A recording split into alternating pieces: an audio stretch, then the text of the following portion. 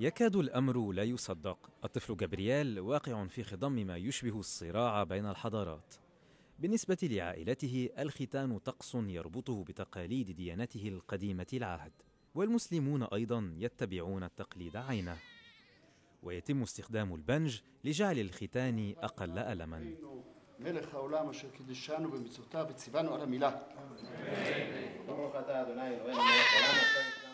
أما من وجهة نظر بعض العلمانيين في أوروبا ختان الصبيان تقليد قاس ومن طراز عتيق. ومراسم الختان تجعل عيون الأم تدمع. بكيت خلال المناسبة فهي فريدة لكن ذلك لا يعني أنني ترددت في الأمر. وقد تحدثت لنا قبل العملية عن حقيقة مشاعرها وأهمية التقليد.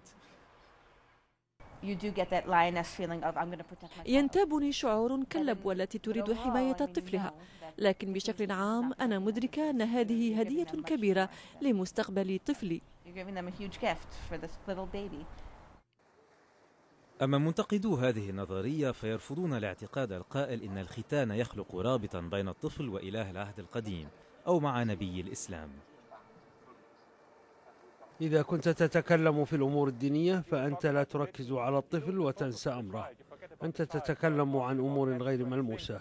عندما نتطرق إلى الختان نحن نتحدث عن حق الطفل في أن يحظى بكل جسده.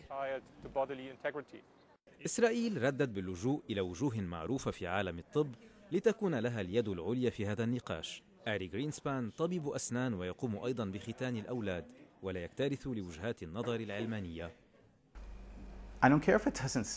لا تهمني وجهات النظر المعارضة. فالختان لا يؤذي الطفل بل هو مفيد لصحته. فلماذا لا أنفذ ما أؤمن به؟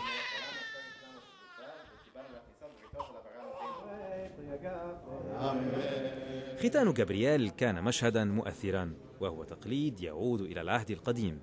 العائلات اليهودية والمسلمة حول العالم تؤثر واجباتها الدينية على القيم المتغيرة في العالم الحالي.